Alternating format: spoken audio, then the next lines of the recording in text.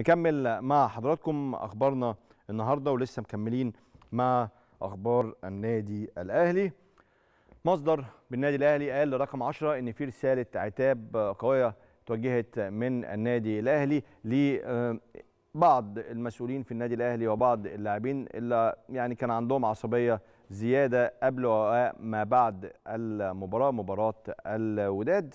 وده عتاب منطقي ومفهوم بس عصبية تبقى وقت السخونة. يعني أي حد بيتعصب وقت المباراة يعني مش بديله عذر. بس عارف أنت أجواء وجماهير وهتافات وتوتر عشان نتيجه فدايما ممكن يبقى فيه أخطاء. المهم الأخطاء ما تبقاش مبالغ فيها. أهم حاجة الأخطاء ما تبقاش مبالغ فيها. طيب.